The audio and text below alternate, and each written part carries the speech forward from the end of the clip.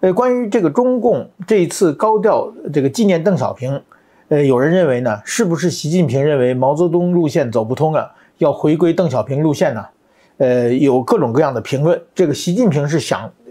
提出改革，用“改革”这个词呢，对中国的现在的困境呢有所突破，所以才把邓小平重新提起来。习近平这几年呢，呃，他追求毛泽东这个的理想主义呢，现在中国经济、外交都出现了很多问题。现在呢，呃，我们看到最近李强他的很多讲话其实都是非常实用的，呃，所以说呢，就把邓小平的实用主义诶重新拾起来。那关于第三点呢，我觉得呢，就是说习近平呢，他其实呢，他打算继承一半邓小平的想法。邓小平的理论呢，在用这个官方的语言总结呢，是共产党一九八七年召开的十三大的时候提出的总结，叫一个中心，两个基本点。一个中心呢，就是以经济建设为中心；两个基本点呢，就是改革开放和这个思想基本原则。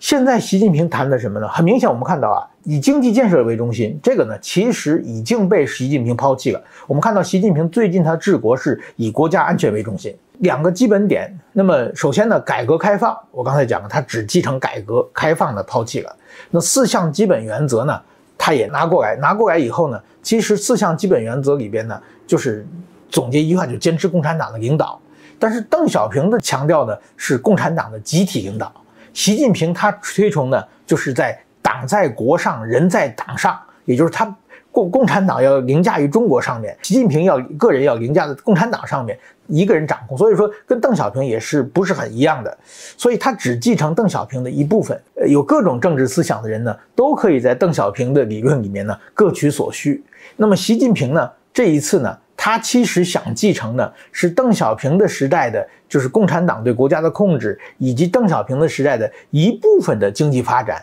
而并不是希望呢这个改革开放，而且呢是韬光养晦这些。另外一部分邓小平的思想呢，其实是习近平并没有打算继承的。石板明夫就事论事，点评天下，说三道四。今天呢，我想讲一下，习近平真的要回归邓小平路线吗？八月二十二日是邓小平诞辰一百二十周年，这一天呢，中共中央举行了纪念的座谈会，习近平发表了重要讲话。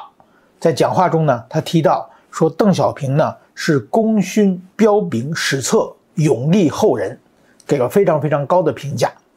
然后呢，中国各大媒体纷纷发表这个纪念邓小平的文章，中国邮政还发行了这个邓小平的纪念邮票。呃，我感觉的比较有意思的是呢，中央军委也开了一个呢全军纪念邓小平同志诞辰一百二十周年理论研讨会。大家都知道，邓小平啊，在一九九二年做南巡讲话的时候呢，当时呢，军委中央军委呢，就是提出了为改革开放保驾护航的口号。大家认为呢，是邓小平在威胁江泽民，让江泽民重新回到这个改革开放路线。现在呢？军队也在纪念邓小平，这个呢，让人有一些呢浮想联翩。呃，关于这个中共这一次高调这个纪念邓小平，呃，有人认为呢，是不是习近平认为毛泽东路线走不通了，要回归邓小平路线呢？呃，有各种各样的评论。比如说呢，美国哈德逊研究所的这个余茂春，他说邓小平和习近平呢都是忠实的共产党人。呃，邓小平有四项基本原则，习近平呢？立主勿忘初心，对维护共产党一党专制政权的根本立场完全没有两样。另外呢，澳大利亚时评人黄普静他说呢，呃，习上台以后，呃，就是一直在推动呢，呃，去邓化。这十二年以来呢，整个国家形势在他的领导下呢一塌糊涂。习近平呢没有智慧领导这个国家。呃，所以呢，习近平把邓小平从棺材里拉出来，并不是尊重、呃认可，而是呢，他想回逃避责任，希望呢老百姓知道他还是能够改革的。呃，另外呢，时评人呃蔡胜坤说呢，习近平的这个讲话呢，可能标志着邓小平改革开放政策已经画上了句号，未来中国的发展将走向一条。更加强调政治稳定和共产党领导的道路。呃，对这一点呢，我认为呢，习近平呢，他。这次呢是高调纪念邓小平呢，是有他的这个政治意图的。我想从三个方面呢来谈一下。第一呢，我们看到习近平讲话，就是说他多次强调了改革，虽然也提到了这个开放呢，但是开放呢没有展开，就顺口一提。那我们看到邓小平对中国最大的改变呢，是提出了这个改革开放，但是其实呢是开放远远要大于改革的，就把中国国门打开，让外国进来，中国人走出去。这个开放政策其实是改变了整个的中国，但是习近平这几年呢，他一直是关上门来，采取呢。类似越来越锁国的这么一个政策，但是习近平虽然现在提到了这个邓小平呢，他其实呢就是说要把他改革的大旗竖起来，并不是要把开放重新谈起来。习近平上台以后呢，一开始提出什么宪政，后来又又强调是国军富论，还强调是毛泽东讲的为人民服务。每个时代都有不停的政治口号。那么最近呢，他是主要强主打改革。前不久的三中全会之前呢。就是中新华社出了一个这个改革家习近平这么一个稿件嘛，虽然这个稿件不知道什么原因被下架了，但是说呢，那个时候开始到现在呢，这个习近平是想提出改革，用改革这个词呢，对中国的现在的困境呢有所突破，所以才把邓小平重新提起来。呃，这是第一点。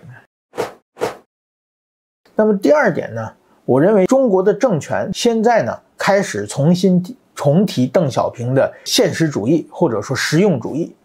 就是和毛泽东比起来，毛泽东是理想主义者，他的这个讲的话，这个比如说在人类社会上呢，建立一个乌托邦，更强调理想。但邓小平呢是非常非常现实实用的。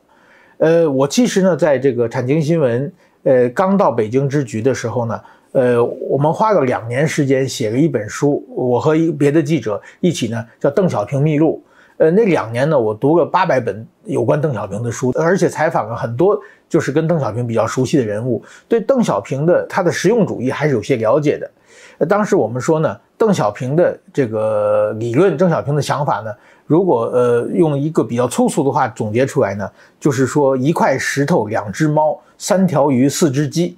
呃，怎么讲呢？一块石头就是摸着石头过河，到底想去哪里他也不知道，走一步看一步。那两只猫呢？就是黑猫白猫，能抓老鼠的就是好猫，就是说其实就是非常实用的嘛。然后三条鱼呢？三条鱼是一九九二年邓小平南巡的时候他提出的三个有利于。他说呢，就是凡是有利于发展社会主义社会生产力的，凡是有利于这个增强社会主义国家的综合国力的，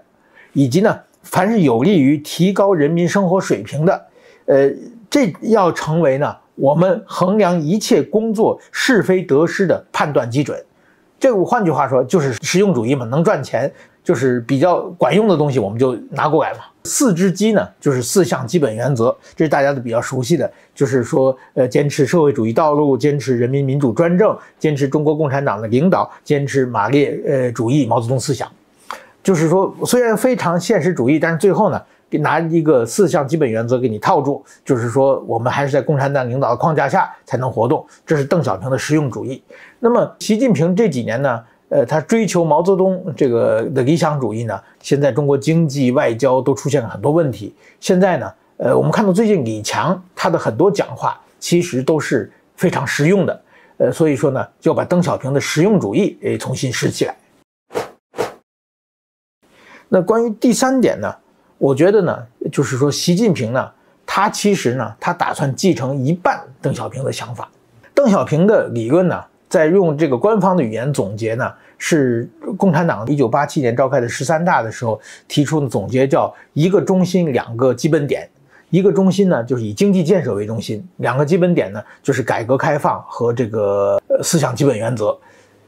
现在习近平谈的什么呢？很明显，我们看到啊，以经济建设为中心，这个呢，其实已经被习近平抛弃了。我们看到习近平最近他治国是以国家安全为中心，两个基本点。那么首先呢，改革开放，我刚才讲了，他只继承改革开放的抛弃了。那四项基本原则呢，他也拿过来，拿过来以后呢，其实四项基本原则里边呢，就是总结一句话，就坚持共产党的领导。但是邓小平的强调的是共产党的集体领导。习近平他推崇的就是在党在国上，人在党上，也就是他共共产党要凌驾于中国上面，习近平要个人要凌驾在共产党上面，一个人掌控。所以说，跟邓小平也是不是很一样的，所以他只继承邓小平的一部分。呃，邓小平呢是一个非常复杂的这个政治人物，因为他早年跟追随毛泽东，也说了很多这个奉和毛泽东的话。后来呢，推动改革开放之后呢，呃，就是还发生天安门六四，所以邓小平，呃，他的很多话其实是自相矛盾的。呃，我在九十年代啊到中国的时候，我结识了很多这个共共产党的老干部，当时呢，有人就说啊。呃，因为九十年代末还是邓小平的影响力非常非常大的时时刻啊。他说：“你看，所有的中共产党领导人啊，都张口闭口都讲邓小平，但你能看出来哪个是改革派，哪个是保守派吗？”我说：“我不太不太好判断。”他说：“你看他引用哪句话？凡是呢引用这个邓小平的叫做发展是硬道理，天天讲这个话的一定是改革派，然后呢天天讲呢稳定压倒一切的。”这个呢一定是保守派，然后呢，如果两句话都在讲呢，这一定是骑墙派。所以说呢，我们就可以看出呢，有各种政治思想的人呢，都可以在邓小平的理论里面呢各取所需。那么习近平呢，这一次呢，他其实想继承的是邓小平的时代的，就是共产党对国家的控制，以及邓小平的时代的一部分的经济发展，而并不是希望呢这个改革开放，而且呢是韬光养晦这些。另外一部分邓小平的思想呢，其实是习近平并没有打算继承的。好，今天讲到这里，谢谢大家。